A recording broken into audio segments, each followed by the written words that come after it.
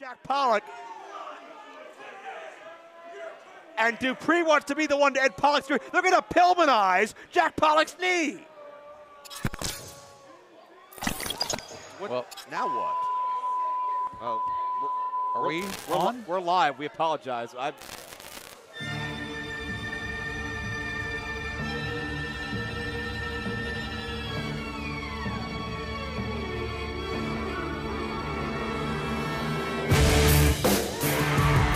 Oh my God, no.